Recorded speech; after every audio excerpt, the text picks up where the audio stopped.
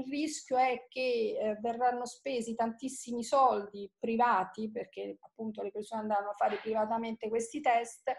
senza che però ci sia una eh, diciamo così, crescita di conoscenza del virus che in questa fase così iniziale, così eh, precoce è invece eh, fondamentale.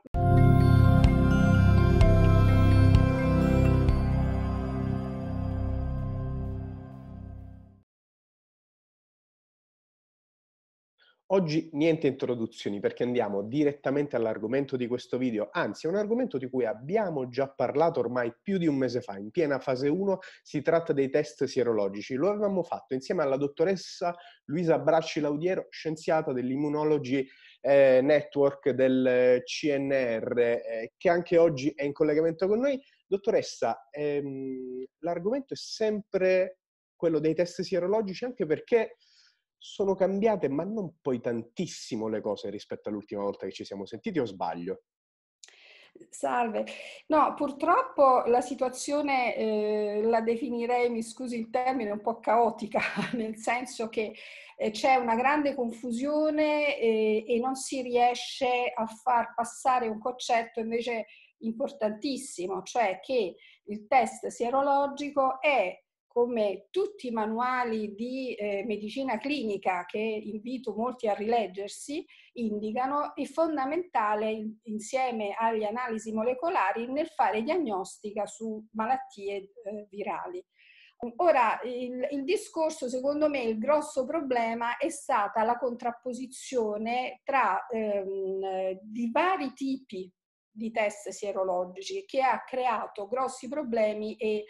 eh, diciamo così, eh, molte perplessità. Purtroppo non c'è stata, almeno che, che io sappia, un ehm, eh, coordinamento un'organizzazione a livello di ministero, cosa che ehm, invece è avvenuta in altre nazioni. Quindi non si è eh, studiato in maniera, eh, diciamo così, eh, si sono presi, ammettiamo, 50, adesso ce ne sono centinaia sul mercato, quindi si è preso un certo numero di test, si sono stati gli stessi sieri testati in modo diverso per capire quelli che erano più eh, efficienti, che davano migliori garanzie. Collegandomi a quello che ha detto lei, eh, andando a leggere il decreto del 25 aprile sì. scorso, il commissario straordinario Arcuri eh, fa riferimento a quella che è stata la gara per individuare il test sierologico da scegliere per fare quella che hanno definito una ricerca campione su circa 150.000 sì. cittadini. Ehm,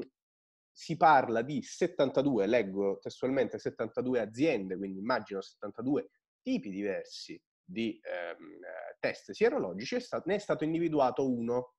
che viene ufficializzato appunto il 25 aprile. Si tratta del test Abbott. Sì. Di cosa si tratta? La risposta di questo test sarà un, eh, presumo, una valutazione a livello del territorio per cercare di capire le percentuali di italiani che hanno eh, avuto la malattia, cioè quanto effettivamente il virus ha circolato nella popolazione ed è questo un uso dei, dei, test sierologici, però quello che vorrei sottolineare non è l'unico e soprattutto a, a, mio avviso non è il più importante, cioè il test sierologico serve per aiutare a fare diagnosi insieme al tampone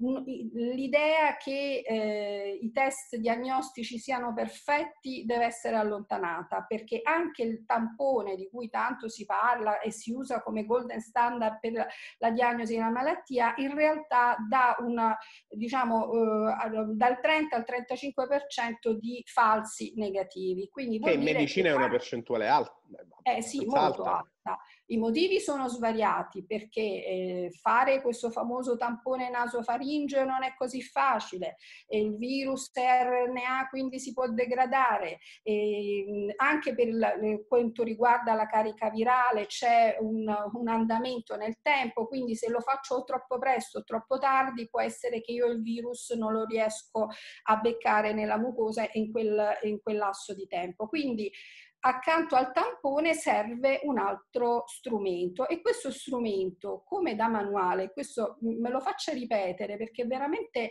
si è assistito in questo mese a delle dichiarazioni che eh, direi veramente sorprendenti, no? Del fatto che il test sierologico come se la, la grande incognita. Il test sierologico... Guardi, dottoressa, se vuole le faccio riferimento ad una di queste dichiarazioni che eh, volevo proprio chiederle, è, di, è del 15 maggio, del 15 maggio, quindi eh, appunto pochi giorni fa un'intervista dei colleghi dell'ADN Kronos Salute al eh, virologo dell'Università di Padova Andrea Crisanti, sì. che è eh, intervistato in merito all'utilizzo dei test sierologici, le cito testualmente insomma la sua risposta, li ha definiti eh, sostanzialmente uno spreco di finanze e non emergono dati che permettono di collocare i test sierologici in un percorso diagnostico. La sensazione è che noi siamo in un momento in cui abbiamo bisogno di tutti gli strumenti e mantenere questa sorta di eh, diciamo remora ideologica a questo punto, preferendo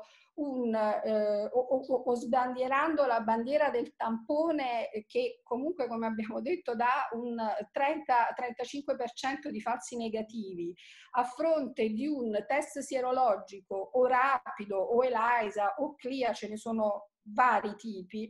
che comunque hanno una sensibilità eh, intorno al 95-98%, quindi comunque stiamo parlando, sono tutti strumenti fondamentali, cioè non ci possiamo permettere in questo momento di dire questo sì e questo no, servono tutti.